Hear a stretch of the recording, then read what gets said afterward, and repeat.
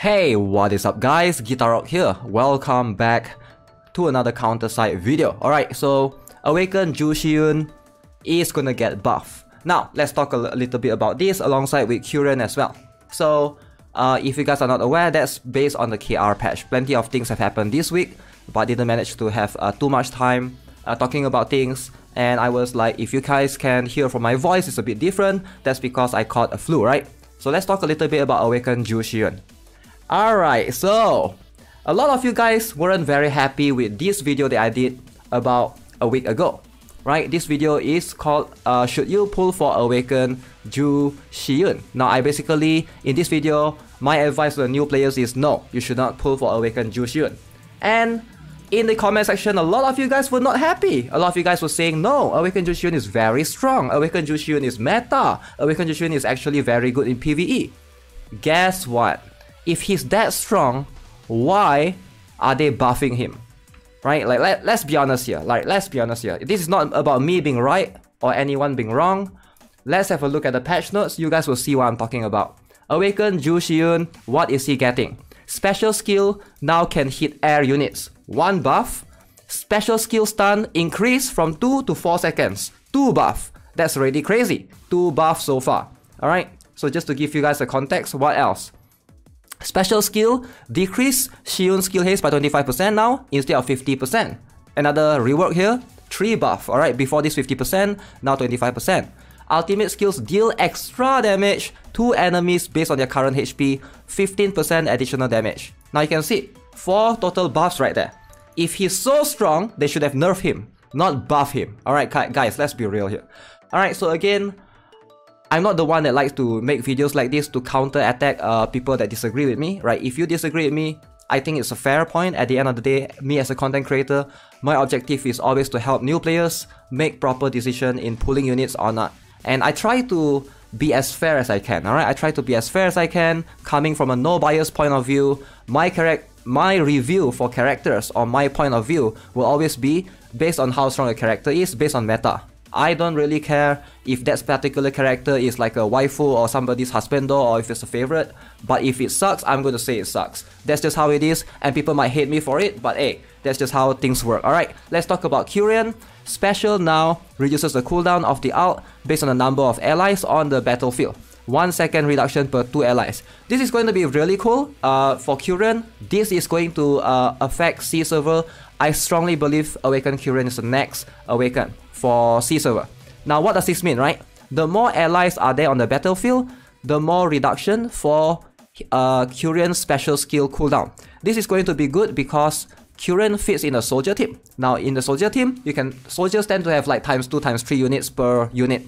So therefore, you'll be able to stack this easily. And special now give attack speed to Curian based on the number of allies on the battlefield. 10% attack speed for 8 seconds is the base, then it's 2% for each ally, can be stacked up to 10 times. Now we'll see how this is. Apparently Curian is not that strong either, that's why they are buffing him. If he's that strong, they would have nerfed him. Alright, I don't know why people like to, you know, try to justify that this character is strong or is, is weak by them watching other people. Like in my, like a lot of people come and tell me that I've seen, uh, you know, they have seen uh, other content creators do certain things in certain stage, so therefore that character is strong. But that's not how you justify certain things because it can be because of gears as well. Gears is going to be very important for this game because that's what carries us. Like for a lot of characters, if you don't have good gears, more than likely they're not going to work. Sure, like if you are in endgame, you're gonna have lots of good gears, but that's not how you gauge how strong a character is most of the time.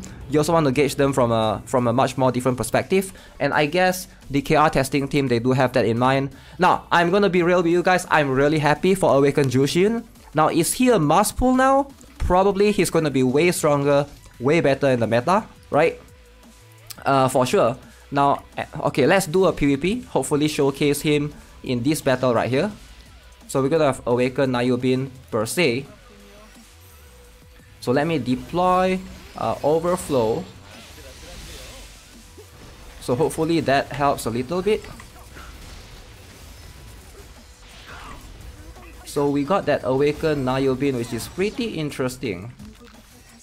I am going to activate Blue Bridge Mark II. So we both uh, are using a lot of skills. Okay, this is going to be very confusing. Okay, so a lot of uh, counter attack going on. I have no idea what's happening, but that Na Yu Bin is really strong. Na Yu Bin is crazy, still alive.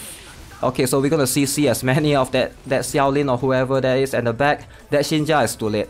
As long as Awakened Joo Shiyoon is still alive, again Awakened Joo Shiyoon, he can work. Alright, I'm not saying that he cannot work, right? For sure, a lot of units can actually work. Um, it's just it's harder to gauge based on PvP. Uh, for me, I can make a character look stronger than it should as a content creator. So that's something that you guys have to be really careful, right? Whenever you watch other people that makes videos, uh, it's, e it's easier for them to make how a character looks strong because I can just edit my videos to the point that I show you guys only my wins. You will never see that I lose. So therefore, you can always look at the character and be like, wow, this character is so strong. This guy never loses. But the truth is, you never know. Like, for example, like a couple of days ago, you can see this battle I lost. Awaken Joo Shiyoon here, I use him, I lost. This battle, I used Awaken Joo Shiyoon, and I lost, right? So, I want to give you guys a more realistic approach of you guys need to be aware of uh, how how the battle works most of the time, right? Now I'm not I'm not uh you're not putting accusation towards anyone here, but it's like what I'm saying is in the past I've done that as well. Alright, I'm not guilty of that as well. In the past I've done uh I've always edited my videos that I only show the battle that I win. By the way, this video is not going to be edited. You guys are going to see this loading screen. You guys are going to see everything. So you guys can gauge for yourself how strong is Awakened Joo Shiyoon. So we got time for one more battle, so let's go. Uh, hopefully, I don't know what is this stuck at 100%. Now Awakened Joo Shiyoon, uh, let's talk a little bit about him since we are the topic is on him right now, right? Uh, I've been asked a lot about skill haste versus attack speed.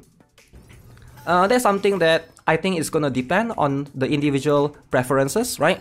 I would say both are kind of equal.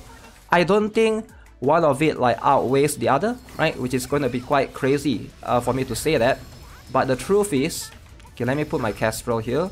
Uh, this is going to be an interesting, interesting one. I feel like going Awaken Joo Shiyoon here. I wonder why this guy don't use Blue Bridge Mark II. Like Blue Bridge Mark II is just so much stronger. Right? I feel like Blue Bridge Mark II is so much stronger. Like the Awaken Yoo Mina is almost dying. Phoenix on top.